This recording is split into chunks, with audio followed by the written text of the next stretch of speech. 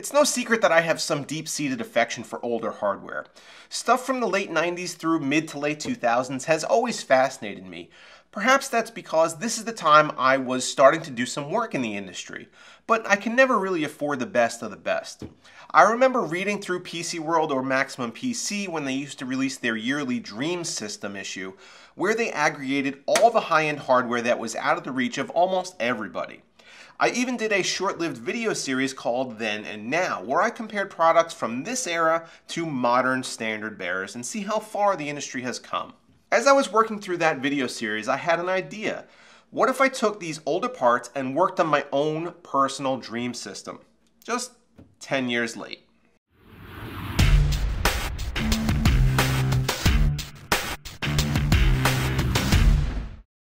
I started off this journey back into time to 2007 with the NVIDIA 8800 GTX. Now, while one of these green beasts would run you about $500 when it was new, and was a hell of a card back then, this is our dream system we're talking about. So let's roll with two of them instead. Although SLI is falling out of favor now, 10 years ago running two of these monsters was the pinnacle of gaming performance and something I knew I always personally aspired to, at least at that time. I complemented our SLI setup with Intel's Core 2 Extreme Q6850. I was able to nab this on eBay for about $50, but when this quad-core Extreme Edition chip was released in Q3 of 2007, it would set you back a cool 1500 bucks. Although at 130 watts it wasn't all that power efficient, it ran all cores at 3 GHz with an 8 meg cache, and was Intel's answer to AMD's FX series. The most difficult part to find in this build was honestly this original LGA 775 cooler with copper slug. The cooler even came with pre-applied thermal paste and was fresh from the factory, never opened or installed. While a dream system would likely have included either a more substantial air cooler or some janky old school water cooled solution, I wanted to keep this build as authentic as possible, and in testing the CPU ran just fine with this cooler in it. The motherboard I chose was the Asus P5Q Deluxe. Just looking at all the colors, copper heat pipes, dangerously sharp fin stacks brings me back in time. Although technically released in 2008, this was the successor to several P35 boards and brought more stability for overclocking with better power delivery. Although this board technically doesn't support SLI, it does support Crossfire and has three PCIe slots on it. I was able to whip up a workaround and enable SLI support using some old tricks and janky software patches I remember having to mess around with back in the day. And check out our DDR2 memory from OCZ. It's perfectly golden shiny and we have two 2GB DIMMs. Again, I suppose we could have gone with 4, but these came in a package and 4GB was plenty 10 years ago. For storage, how can I not go with a 10,000 RPM Western Digital Raptor? It may sound like this, but it was the fastest option back then, and one that went into many ultimate gaming builds. There are two parts of our build that don't come from the scrap heap, and that's the case and the power supply. I did consider going old school for both, but there were a few issues. First, I didn't really trust any of the really old used power supplies I was finding online most of which were unbranded silver boxes.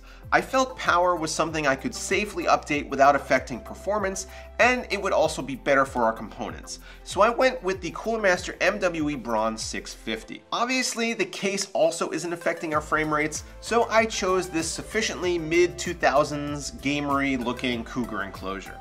It turns out assembling these older style systems isn't all that fun, because I did cut myself several times snaking wires around the motherboard heatsinks and trying to jam wires in behind the hard drive bays.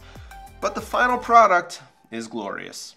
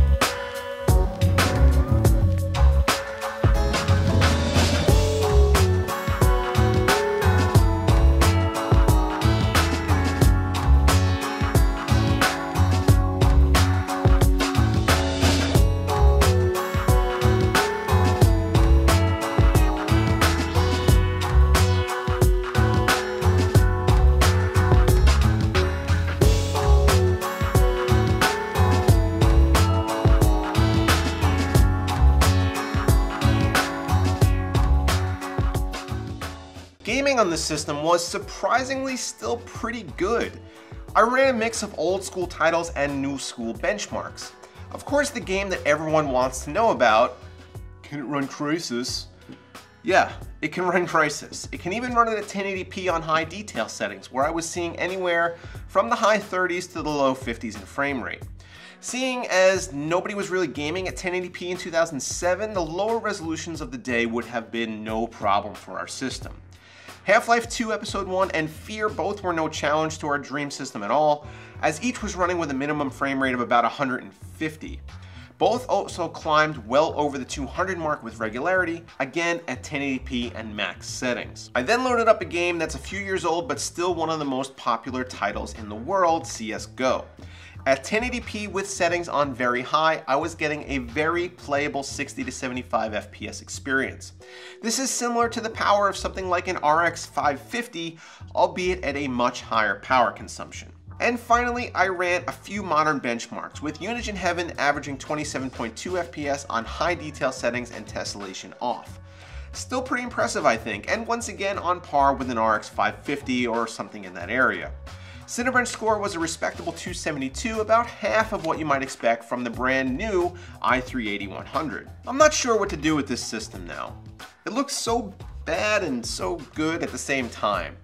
I was pretty fortunate to find the parts in the condition that I did, and although I have a shelf in my office where I used to display some of this older hardware, maybe I'll just keep this machine as it is for now and break it out if I ever want to play some original Call of Duty. I'm in a position where I get to handle and test all kinds of high-end goodies. But sometimes it's good to remember where it all started, and for a lot of people, this is the kind of system they grew up dreaming about. I know I did. So that's all for my overly nostalgic look back at a 2007 Dream System. Let me know down below what your old school Dream System might be. Also, don't forget to get subscribed to the channel if you like what I do here, and consider supporting me by visiting my merchandise store at the link in the description. As always guys, thanks for watching.